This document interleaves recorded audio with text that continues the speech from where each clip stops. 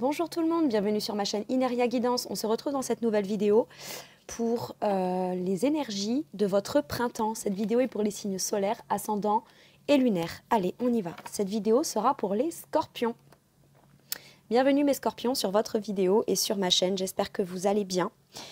Euh, mes scorpions, avant de commencer, je tenais à toutes et tous vous remercier du fond du cœur pour euh, vos visionnages, vos abonnements à ma chaîne, vos likes, vos partages et vos commentaires, puisque sans vous, ma chaîne ne serait pas ce et n'évoluerait pas comme elle évolue.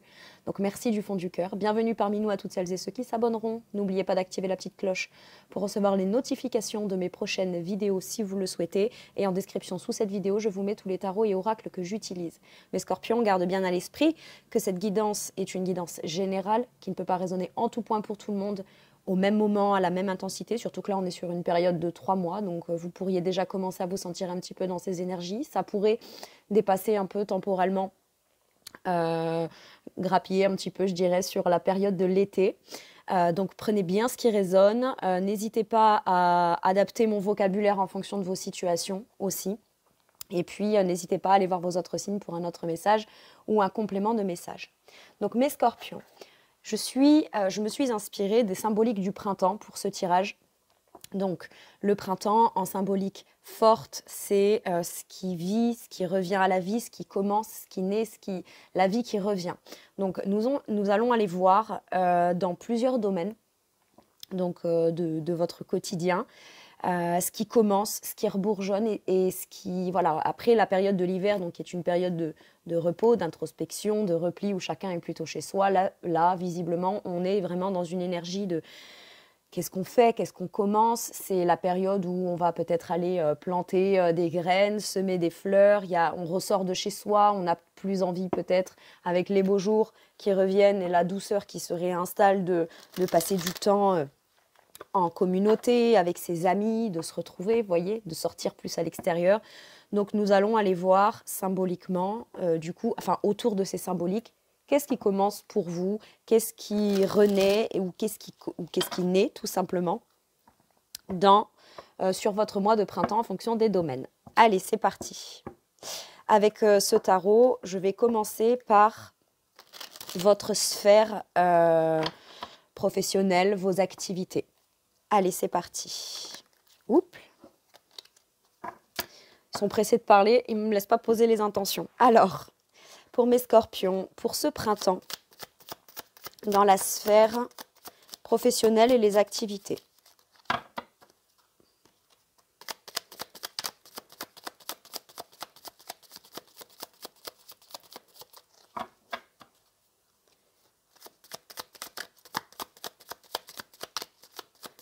Ok eh bien, on a vraiment un nouveau départ, une nouvelle graine qui est plantée, une opportunité qui se présente. On a l'as de denier. Voyez, avec ce tarot, voilà, là c'est l'as de denier. Donc, euh, un nouveau départ professionnel, un nouveau contrat, ça peut être quelque chose que vous décidez de commencer vous.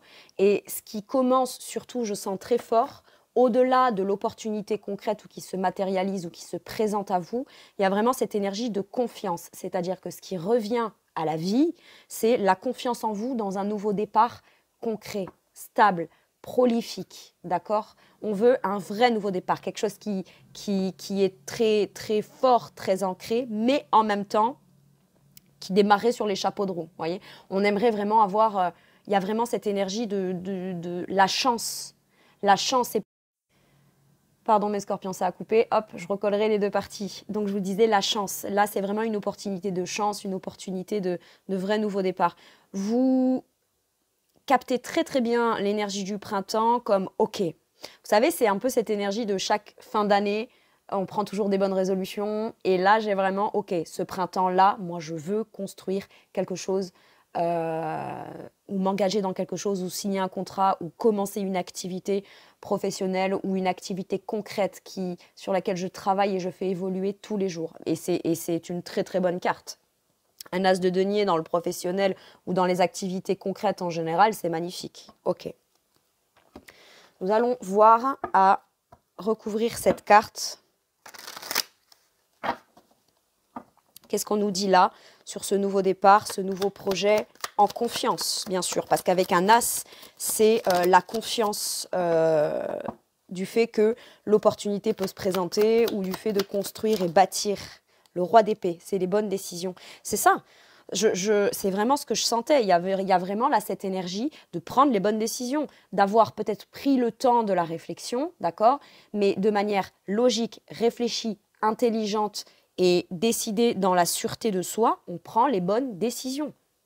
Si vous avez, si vous vous êtes dit, ben moi j'attends euh, le printemps peut-être pour euh, démarrer cette activité ou pour donner une réponse pour un contrat ou me remettre à la recherche d'un nouveau projet ou euh, de, de, de, remanier d'une nouvelle manière un contrat, par exemple. Ça peut être euh, demander une augmentation, euh, accepter des responsabilités, une nouvelle responsabilité supplémentaire, voyez, mais c'est une notion vraiment d'opportunité, là.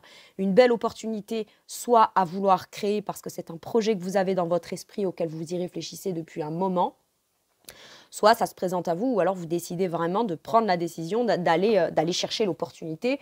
Elle se voilà, si, l'opportunité ne se présente pas, vous prenez peut-être la décision de vous dire ok, si je cherche, je trouverai forcément des opportunités ou la bonne opportunité pour moi. C'est superbe, très bien. Avec celui-ci, je vais aller voir quels conseils on vous donne. Et là, on prend une décision. Euh, euh, très logique, très intelligente, euh, il y a une belle maîtrise, il y a, hum, les démarches, vous voyez ce que je veux dire, c'est qu'on fait les bonnes démarches au bon moment, on a, on a une très belle analyse de la situation. Quel conseil pour mes scorpions? La renaissance, tout simplement. je trouve qu'elle tombe à point nommé, cette carte. La renaissance. Et comme je vous disais, l'énergie du printemps, c'est vraiment euh, la fin des difficultés, donc la fin de l'hiver, la fin de la froideur, la fin de ce qui a été compliqué, et euh, la décision qu'on prend de vraiment soit créer. Si vous ne trouvez pas le poste qui vous va, le salaire qui vous va, le, j'ai vraiment ça, le comment euh, le je sais pas, vous aimez faire telle activité ou telle passion, ça peut, pour celles et ceux qui ne sont pas salariés, qui sont soit retraités, soit peu importe votre, vos conditions, d'accord? Euh, Il y a vraiment euh, cette notion d'avoir envie de créer quelque chose qui nourrit et d'en finir avec l'ennui. Ou alors, admettons, je sais pas, vous avez comme activité de vouloir euh, euh, vous avez comme passion de, faire de la danse, de la peinture ou peu importe, et vous faites partie souvent d'une association ou d'un truc, mais il y a quelque chose qui ne va pas, vous pouvez peut-être, pourquoi pas, prendre la décision de vous-même créer votre propre association. Voyez, pour pouvoir vraiment créer quelque chose euh, avec l'ambiance que vous aimeriez, qui attire le type de personne que vous aimeriez, etc., etc. Il y a vraiment cette notion de la fin des difficultés. C'est-à-dire que s'il y a eu sur, euh, je dirais, fin d'hiver, un nouveau départ, une opportunité qui s'est présentée, j'ai l'impression qu'il peut y avoir une magnifique évolution. Et effectivement, le printemps vient comme sceller la fin des difficultés professionnelles. Donc, le fait euh, d'aller sur quelque chose de beaucoup plus construit, en confiance, productif et prolifique finalement. Ok. Maintenant, je vais aller voir mes scorpions pour vous euh, dans votre sphère émotionnelle d'accord? Émotionnel, ça peut être euh, euh, spirituel, vos ressentis, votre monde intérieur.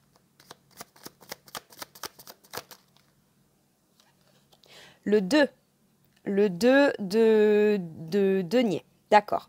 Donc là, on est, on est sur des énergies qui sont quand même très terres là pour l'instant. C'est-à-dire qu'il y a de la matérialisation, il y a du concret. Il y a le fait de peut-être euh, jongler entre plusieurs émotions, entre plusieurs pratiques spirituelles, il y a le fait d'essayer de, trouver de vouloir trouver un équilibre, justement. Euh, mais un équilibre concret. On veut réussir à pouvoir se stabiliser. D'accord? Donc là, il y a peut-être euh, des nouvelles choses qui vous sont proposées de manière concrète, comme par exemple euh, telle thérapie ou telle pratique spirituelle euh, à mettre en place dans le quotidien. C'est-à-dire que là, dans le quotidien, émotionnellement, on jongle un peu quand même. On jongle peut-être entre plusieurs pratiques, entre plusieurs sentiments, entre deux émotions peut-être différentes à devoir stabiliser. Et c'est comme si euh, le printemps pour vous était propice au fait peut-être que vous vacillez là sur l'hiver entre plusieurs émotions il peut y avoir plusieurs émotions à l'intérieur de vous. Et là, finalement, j'ai l'impression que il y a deux émotions qui se précisent, d'accord, qui qui se font plus concrètes, qui se font plus ressenties, et du coup, on, on, on jongle plus peut-être entre, vous savez, quand je vous dis des émotions, ça peut être un coup on est bien, un coup on est triste, un coup on est enjoué, un coup voilà, vous voyez, en a plusieurs. Et là, finalement, au fur et à mesure, ça a fait comme un peu de ménage, mais on jongle toujours quand même. Et, c'est propice là à euh, émotionnellement peut-être se stabiliser, trouver un équilibre émotionnel. Le printemps vous amène ça, mais de manière concrète. Très bien. Je vais aller préciser ce 2-2, mais ça peut être dans euh, ça peut être dans, le, dans, la pratique de quelque chose. D'accord? Parce qu'un 2 de denier, euh, c'est ce qu'on fait. Le denier, c'est le concret, c'est ce qu'on utilise comme outil au quotidien. Donc c'est pour ça que je vous dis, il y a peut-être deux pratiques ou deux choses qui peuvent vous aider émotionnellement justement à trouver cette stabilité. Ok, qu'est-ce qu'on vous dit avec celui-ci sur ce 2 de denier dans la sphère émotionnelle ou spirituelle? La roue, il y a du changement. On vous dit qu'il y a quelque chose que vous pourriez faire. C'est vous qui faites, c'est-à-dire qu'il y a un changement qui s'amorce, il y a un changement qui se présente. Tout est voué à évoluer. Il y a quelque chose qui évolue à l'intérieur de vous, il y a quelque chose qui change émotionnellement ou spirituellement. Et là, ce qu'on vous dit, c'est vous aurez beaucoup plus de maîtrise, puisqu'avec la route fortune, il y a toujours cette notion de, ce qui monte finit par redescendre et ce qui descend finit par remonter. Donc c'est une évolution perpétuelle. Et là, j'ai comme cette sensation, mais dans la route fortune, il y a, il y a la notion de l'occasion est là, peut-être qu'une pratique vient se présenter à toi ou des conseils viennent se présenter à toi pour que tu puisses euh, mettre en pratique un équilibre émotionnel et spirituel, mais tu auras ton libre arbitre, d'accord? C'est dans la praticité de tous les jours, finalement, que vous réussirez comme à avoir cette sensation de pas contrôler, mais de maîtriser votre avancée, d'accord? Dans votre équilibre spirituel et émotionnel. J'adore. Très bien. Quels conseils on vous donne par rapport à ce changement? Comme si qu'avec la route fortune, on vous dit c'est le bon moment pour toi de trouver un équilibre.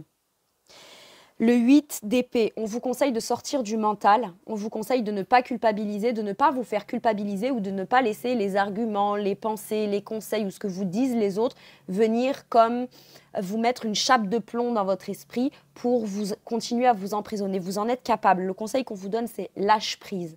Tu verras que de toute façon, de soi, ça, coule de source, de soi, l'opportunité se présentera, d'accord et te fera trouver un équilibre. Même si on a l'impression de devoir jongler entre est-ce que je dois, est-ce que je dois pas, est-ce que je fais, est-ce que je fais pas, est-ce que je saisis l'opportunité ou pas, est-ce que moi j'ai les moyens de faire ou de pas faire. De toute façon, quoi qu'il arrive, le temps passe. Et mine de rien, le sentiment d'instabilité ne vous a pas empêcher de traverser les saisons, de traverser le temps. Et de mine de rien vous rendre compte que vous gérez, vous avez géré. Donc en ressenti plus ou moins bien, mais là il y aura comme l'opportunité de réellement réussir à trouver une manière de, de, lâcher prise, de lâcher prise, de ne pas euh, penser que vous n'avez pas les compétences, les capacités et surtout euh, euh, le changement émotionnel ou spirituel vous apporte un mieux-être.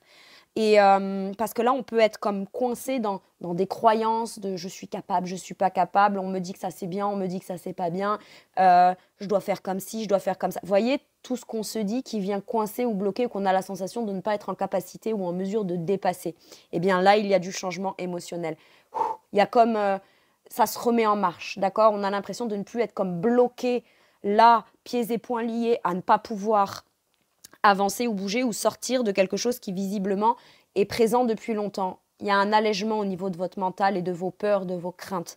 Et ça se fait tout naturellement. Et que vous en ayez conscience ou pas, mine de rien, de manière concrète, vous réussissez à vous équilibrer sur ce printemps. C'est vraiment chouette.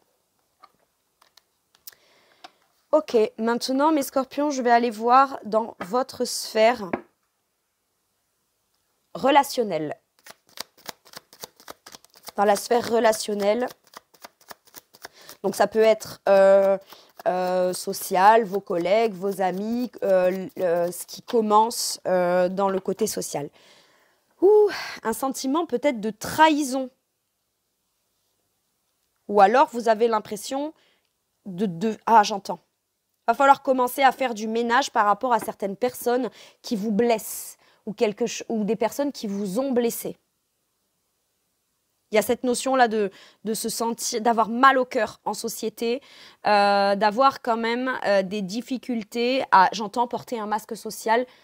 Ok. Ok. Ok, alors attendez, parce que ça vient au fur et à mesure. Ok, jusque-là, vous portiez comme un masque social. Il y a des blessures émotionnelles à l'intérieur de vous. Et en société, que ce soit avec vos amis, votre famille au sens plus large, j'entends par exemple vos parents, euh, vos cousins, cousines, vos frères, vos sœurs, etc il y a cette notion de cacher, c'est ce que j'entends, hein, de cacher un mal-être. Et là, euh, au niveau social euh, et dans votre relation aux autres, il y a cette notion de ne plus avoir envie de cacher un émotionnel même qui n'irait pas. J'ai l'impression que vous révélez aux personnes qui vous ont blessé ou aux personnes qui avaient tendance à vous voir bien malgré les blessures que vous aviez à l'intérieur, et vous n'hésitez plus à vous montrer tel que vous êtes. Si un jour ça va, ça va. Si un jour ça va pas, ça va pas. C'est OK. Et avec ce 3 d'épée, il y a vraiment cette énergie-là de ne pas se mentir ou se tromper à soi-même et de vraiment se montrer tel que l'on est. Nature, peinture, si j'ai envie de dire. Et si, et ça c'est quelque chose que vous allez commencer à faire sur ce printemps, vous n'allez plus vous forcer à ne pas montrer vos blessures parce que ça plairait pas à un tel ou ça dérangerait un tel. Ou... Vous savez, parce que j'ai cette question-là qui me vient. Vous savez, c'est ce truc que tout le monde a ou quand on croise quelqu'un, c'est Salut, ça va? Oui, oui, ça va. Même si ça va pas, on dit Oui, ça va. J'ai ça. Et euh, quelque part, à chaque fois que vous êtes comme ça, ben, vous continuez votre chemin, vous dites Mais non, ça va pas. Pourquoi j'ai dit que ça va? Bon, De toute façon, après tout, cette personne-là. Vous voyez, il y a vraiment ça. Et là, j'ai l'impression qu'au niveau social, on va se montrer tel que l'on est, même dans ses blessures, finalement. Et c'est OK. Maintenant, euh, on vous dit autour de vous, dans vos amis, vos collègues, euh, l'entourage que vous côtoyez, vous savez qu'il y a des gens qui ne sont pas très honnêtes avec vous, euh, je dirais, dans la manière de s'adresser à vous, dans un émotionnel qu'ils vous montreraient. Et j'ai l'impression que vous allez commencer à voir les gens tels. Ah, alors, là, on fait surtout focus sur les gens que vous estimez ou savez ne pas être forcément bons pour vous dans votre entourage d'accord Ou qui pourrait avoir un impact sur votre émotionnel dans le sens de ça vous blesse, euh, vous vous sentez trahi et puis euh, en plus vous vous trahissez vous-même à chaque fois que vous recadrez pas les choses ou quoi. Vous voyez, il y a vraiment ça. Et là, j'ai l'impression que c'est le ménage de printemps dans votre relationnel, notamment vis-à-vis des gens qui vous blessent. Certes, il y aura peut-être moins de monde dans votre entourage, mais au moins ce sera beaucoup plus sain, plus harmonieux. Et là, on vous parle vraiment de, de réussir à, à identifier ce qui vous blesse aussi euh, en société ou qui sont les gens qui pourraient vous blesser en société. Très bien. On accepte de voir ça. Peut-être que c'est quelque chose qu'on avait mis de côté et qu'on repousse et qu'on se dit non, j'ai des préoccupations professionnelles, je dois déjà trouver un équilibre, j'ai des préoccupations dans mes activités. Donc en fait, je sais qu'il y a des gens qui ne sont pas forcément bons autour de moi, mais je m'en occuperai plus tard. Et là, visiblement, sur le printemps, on veut que vous régliez certaines choses comme ça. Très bien.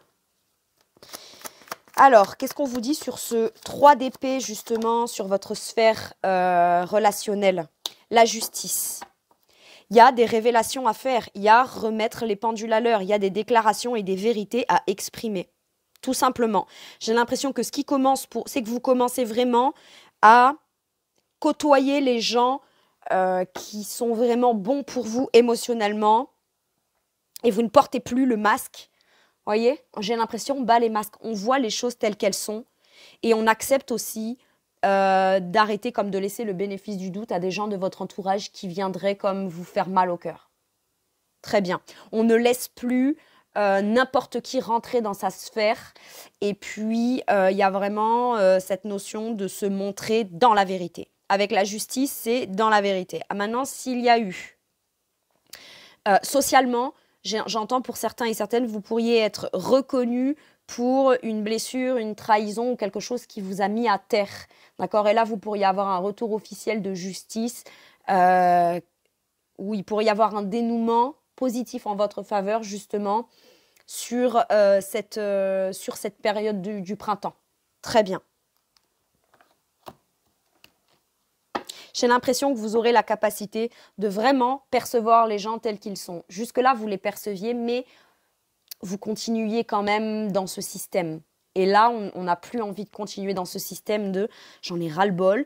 Là, c'est vraiment j'en ai marre de devoir euh, fréquenter et, euh, et, continuer à devoir euh, composer avec les gens avec qui ça ne va pas, puisque en faisant ça, quelque part, je me trahis moi-même également. Très bien. Quel conseil on vous donne sur cette justice? Donc cette transparence, le fait de dire la vérité et le fait peut-être bah, de recadrer certaines personnes. Hein. C'est comme ça. Hein. Des fois, c'est essentiel. La justice vient apporter un équilibre. D'accord? Un équilibre. C'est-à-dire que c'est juste. En soi, là, socialement, le masque qu'on portait, c'est comme si que quelqu'un qu'on apprécierait vachement, vachement, ça va, oui, salut, ça va. Et bon, là, c'est authentique. Et vous, vous le sentez à l'intérieur de vous. Mais cinq minutes après, vous croisez quelqu'un que vous appréciez moins ou qui n'est pas sympa ou je sais pas, il y a un truc qui passe pas. Eh bien, vous allez donner plus d'énergie à salut, ça va? Oui, ça va et tout. Mais à l'intérieur, votre ressenti n'est pas le même que la première personne que vous appréciez. Vous voyez, c'est ça. Donc, en fait, euh, dans l'absolu, euh, euh, peut-être qu'au départ, vous allez commencer par tenter de faire en sorte de ne pas croiser ces gens-là. Mais quand on les croise, eh bien, on se montre authentique par rapport au ressenti qu'on a vis-à-vis de la personne. On ne met pas tout le monde sur le même pied d'égalité. J'ai vraiment cette énergie-là, c'est fou. Alors, mais c'est bien, hein, à un moment donné, euh, bon, voilà. Après tout, hein. Quel conseil on vous donne? Oui, l'empereur, le rebelle, se libérer des gens qui vous blessent, affirmer sa position, euh, avoir confiance en vous. Et puis, l'empereur, le, il ne compose pas. Il n'a pas besoin de, composer. Il est ce qu'il est. Il a confiance en lui. Il sait. D'accord? Après, l'empereur a une énergie quand même assez stratégique. C'est-à-dire que euh, l'empereur, mine de rien, dans la sociabilisation, sait comment se comporter avec euh, tel type de personnalité, tel type de personnalité, et composer avec. Mais l'empereur euh, ne fait. C'est pas l'empereur qui fait des courbettes. D'accord? C'est ça l'énergie. L'empereur ne fait pas de courbettes aux gens. L'empereur est ce qu'il est, il est stable, il a ses raisons, il prend ses décisions et, euh, il tient aussi à. Si, si l'empereur n'est pas d'accord avec euh, je vais aller loin, mais tel pays ou telle euh, personnalité ou tel concurrent ou telle personne qui ne serait pas loyable, loyale, stable, fiable, etc., il tranche, il a son mot à dire. Et c'est d'ailleurs la première personne qui aurait son mot à dire à partir du moment où on vient le blesser, où on viendrait, euh, comment dire, puiser dans son énergie de cœur. Voyez? L'empereur est généreux mais il a ses limites. D'accord? Et là, il y a comme euh, cette notion, c'est très euh, raccord les conseils qu'on vous donne finalement, même dans la globalité, parce que c'est vraiment une renaissance. C'est arrêter avec les difficultés, ne plus se sentir à terre ou se diminuer parce que euh, telle ou telle personne vous aurait culpabilisé, dit ci, dit ça, fait croire certaines choses. Et euh, voilà, là, il y a vraiment cette, euh, cette notion de se libérer justement du mental de la culpabilité et des peurs, et enfin de vous affirmer socialement tel que vous êtes. Waouh Et l'empereur, il prend les choses en main. Et puis, c'est le rebelle.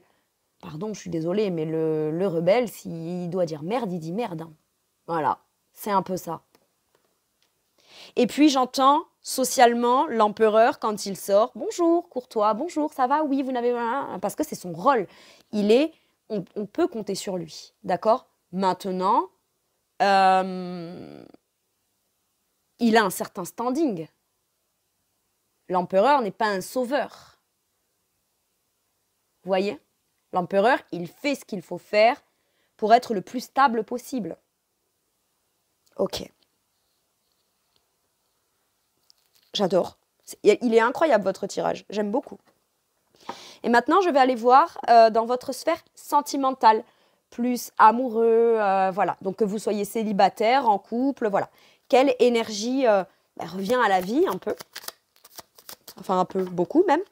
un peu, beaucoup, passionnément à la folie. Allez, sur la sphère sentimentale. Le 5 de bâton il y a de la compétitivité, de la combativité. Et il y a le fait aussi, bah, ça va un petit peu peut-être aussi avec cette sphère euh, relationnelle et ce qu'on fréquente. C'est-à-dire que sentimentalement amoureux dans un couple, ça peut même être en famille, donc avec un cercle beaucoup plus restreint et proche qui touche à vos sentiments profonds personnel, il peut y avoir cette énergie de taper du poing sur la table et mettre en évidence certains conflits, mais ne plus rester comme en dehors des conflits. Non, dire ce qu'on a à dire parce qu'on est légitime à exprimer ce qu'il y a à exprimer. Il peut y avoir des débuts de conflits.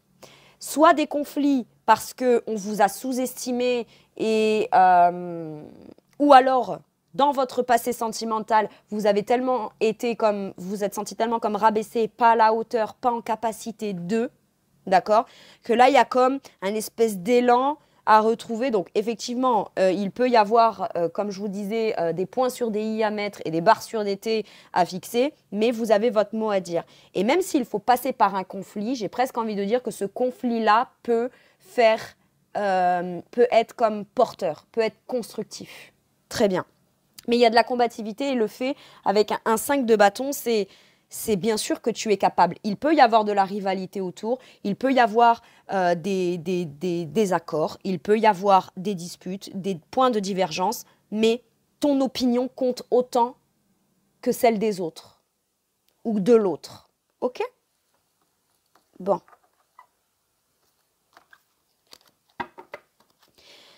Qu'est-ce qu'on vous dit sur ce 5 de bâton? C'est peut-être un conflit qu'on repousse depuis longtemps, hein, d'accord? On, on, essaye de faire le dos rond, on essaye de pas faire de vagues, on essaye de... Et ça devient euh, le set de bâton, défendre vos intérêts, défendre votre point de vue, votre, la persévérance, le dynamisme et le fait de vous défendre, le fait de défendre vos intérêts. Et c'est surtout que si vous êtes célibataire, il y a cette notion de vous dire bien sûr que toi aussi, tu es à la hauteur, tu peux plaire, tu es capable. Non, ce n'est pas toujours les autres qui rencontrent quelqu'un de bien. Euh, toi, si tu rencontres des gens euh, qui sont venus comme puiser dans ton énergie, etc., etc., il y a cette notion de mettre des stops, mettre des barrières et euh, se respecter soi en priorité dans, une dans, une, dans la sphère sentimentale ou relationnelle très très proche de vous. D'accord?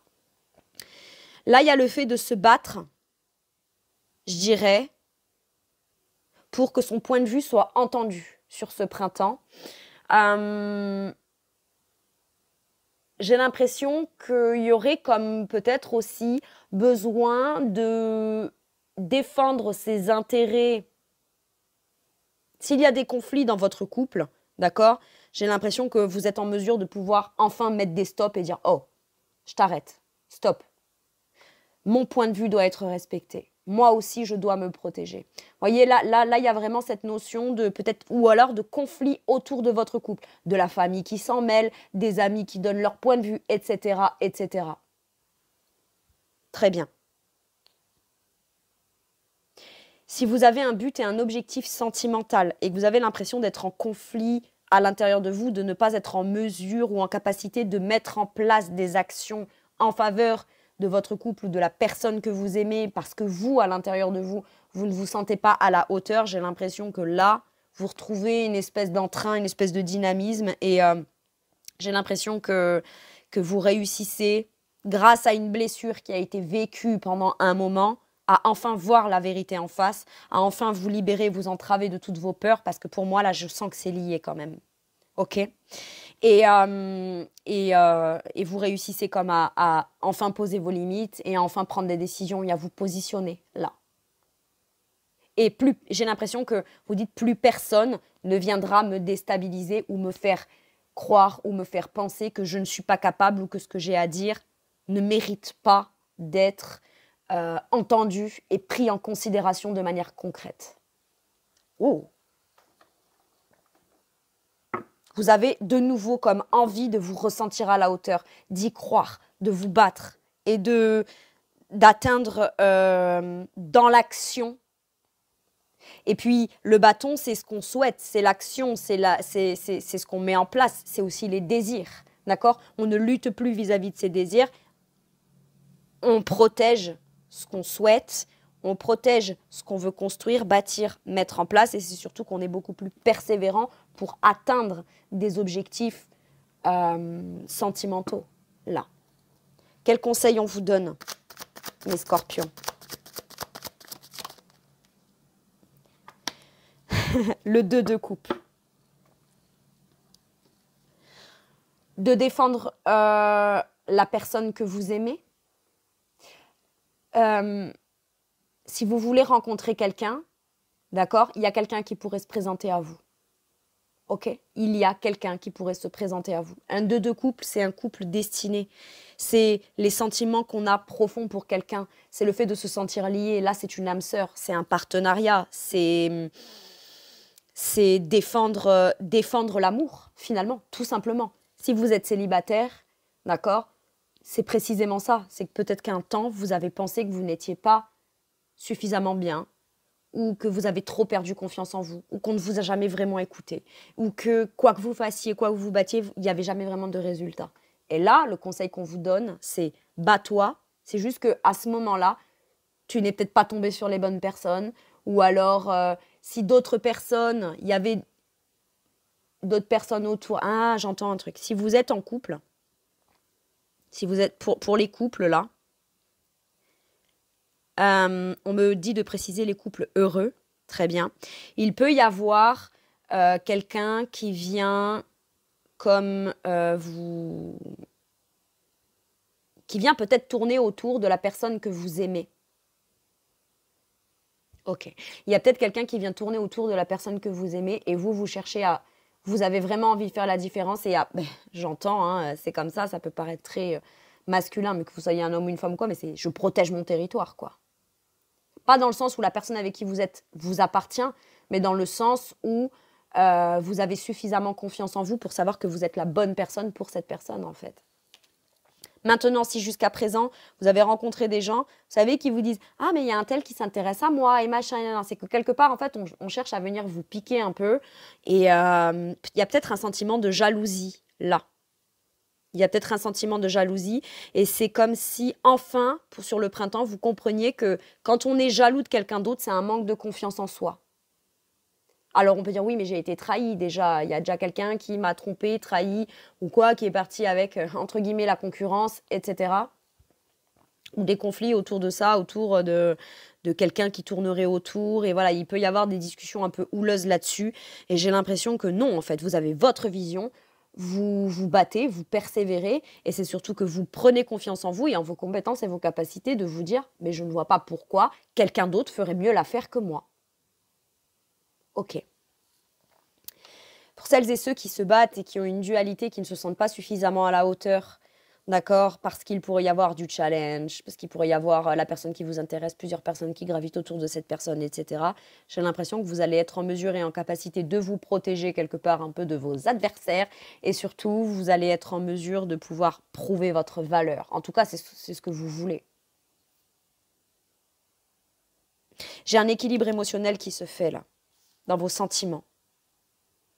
Comme si qu'à force de persévérance, à force de lutte, à force de dualité peut-être intérieure, à force de ne pas vous sentir capable, vous allez travailler, travailler, travailler et enfin vous savez ce à quoi vous voulez accéder émotionnellement. Le vrai couple où rencontrer la bonne personne pour vous et vous persévérez dans ce sens-là. Bravo mes scorpions. Très bien. Allez, je vais aller voir maintenant avec euh, quelques oracles les conseils des guides qu'on vous donne pour ce printemps.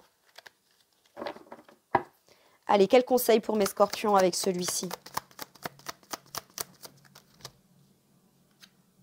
L'empathie. Être à l'écoute de vous, être à l'écoute de l'autre, être beaucoup plus ouvert. Euh, surtout être à l'écoute de vous-même, j'entends. Être à l'écoute de vous-même. Écoutez vos intuitions, écoutez vos émotions. Comme si jusque-là, ce qui aurait pu vous permettre de pouvoir vous épanouir, quelle que soit la situation, vous n'étiez pas à l'écoute de ça parce qu'il y a ce que le cœur ressent, mais il y a les croyances qu'on a de ce qu'on doit faire. Et là, on est beaucoup plus à l'écoute de son émotionnel.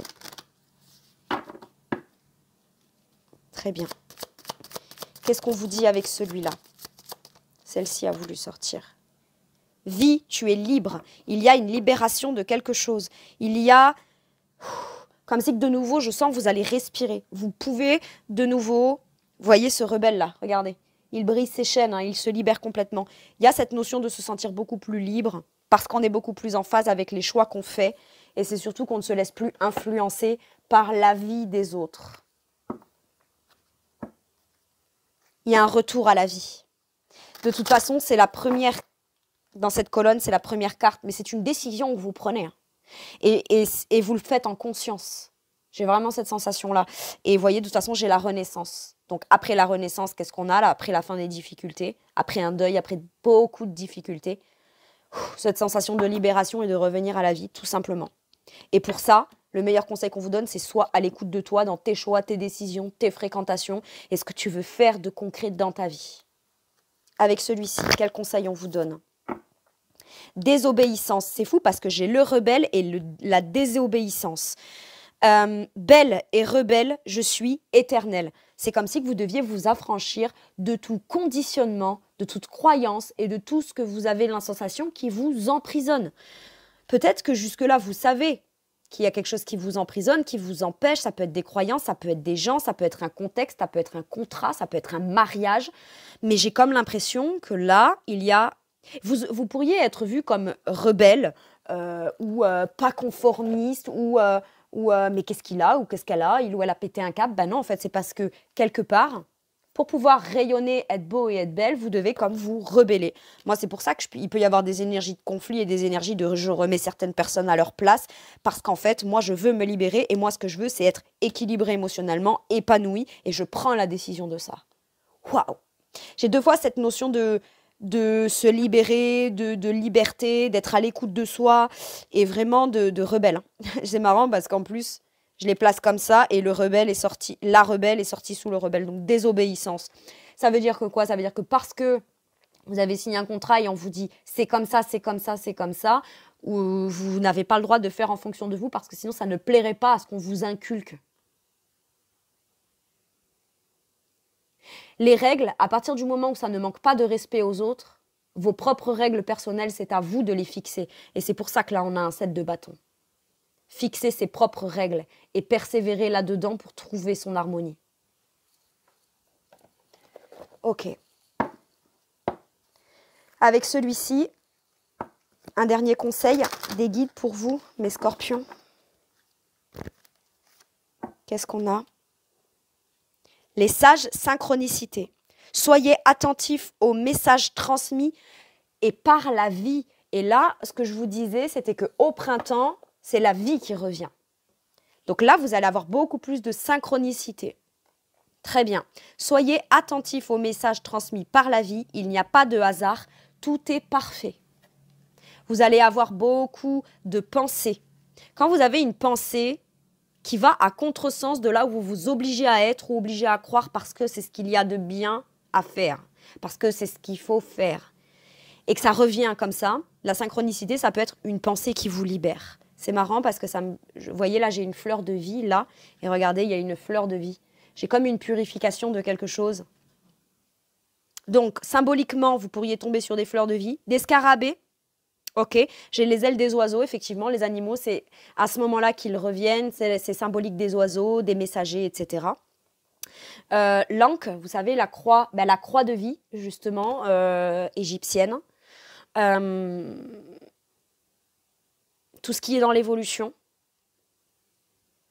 La 43, la 7, euh, c'est une notion d'apprentissage, une notion de persévérance. Tout ça peut être des symboliques très forts pour vous.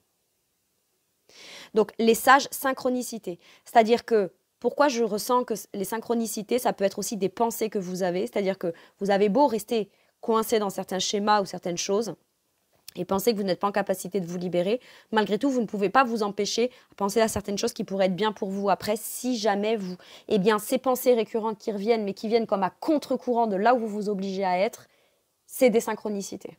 Ok? C'est votre canal, c'est votre âme qui cherche à s'exprimer au travers de vos pensées. Ne refoulez plus ça, j'ai l'impression. Et plus vous réussirez à dire non si vous avez non à dire, ou pas comme ça, ou ça ne me convient pas, je souhaite être à l'écoute de moi-même, plus vous aurez des synchronicités concrètes qui viendront sur votre chemin, d'accord, qui vous pousseront à continuer et à persévérer en faveur de cet épanouissement-là. Voilà mes scorpions, c'est tout pour moi pour ce tirage. Je vous remercie de m'avoir écouté. Je reviendrai un petit peu plus tard vers vous pour vos énergies générales pour le mois d'avril 2024. Mais en attendant, je vous fais tout plein de gros bisous et je vous dis à bientôt pour une nouvelle vidéo. Merci, au